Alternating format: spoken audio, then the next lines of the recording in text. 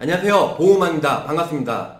많은 분들이 요즘에 직장에서 건강검진에서 치아검진 혹은 구강검진에서 충치가 심해서 임플란트나 크라운을 해야 된다는 소견이나 진단을 받으면 혹시 치아보험 가입이 가능하냐고 많은 분들이 질문합니다. 그래서 저 보호망이 속 시원하게 가입 여부에 대해서 말씀드릴게요. 끝까지 지켜봐 주세요.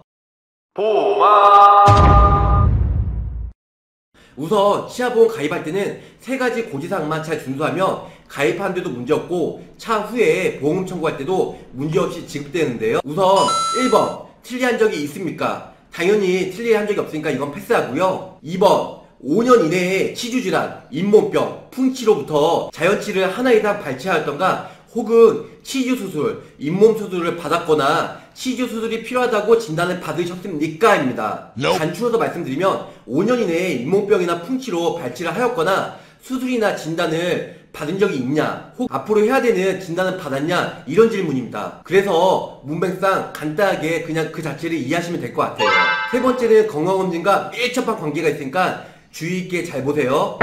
최근 1년 이내에 충치, 치아 의식 중으로 의사로부터 진찰 또는 검사, 건강검진을 포함해서 치료나 충전 치료, 보철 치료 등 투약과 같은 의료 행위를 받은 사실이 있거나 치료가 필요하다는 진단을 받은 적이 있습니까? 이겁니다. 간추려서 설명을 드리면 1년 이내에 병원이나 건강검진을 통해서 보존치료나 보철 치료 혹은 해야 된다는 의심 소견이나 진단을 받은 적이 있냐 이런 질문입니다. 그럼 제 영상을 보신 많은 분들께서 어 건강검진은 포함이고 검진에서 임플란트나 크라운 등 해야 된다는 소견을 받아서 이것을 고지해야 하는 거 아니냐고 질문을 할 수 있습니다.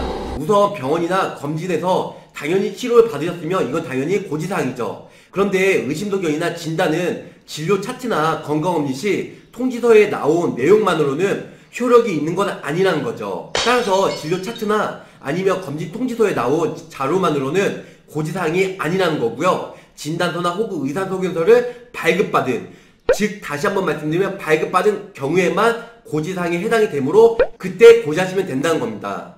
많은 분들이 이런 질문을 잘 몰라서 해서 거절이나 혹은 부담보, 불이익을 받는 사례가 많이 있는데요. 이런 부분들을 중간에 설계사분들이 잘 중간에 걸러서 고지를 하시면 될 것 같고요. 우리는 치아보험의 필요성을 잘 알고 있지만 고지 위반이 아닌 원칙적으로 고지를 잘 준수해서 추후에 보험 청구할 때 불이익 없이 잘 지급받으면 좋으실 것 같아요. 자, 그래, 그래서 오늘 보험왕의 한 줄평은 직장 건강검진은 고지사항이 아니다.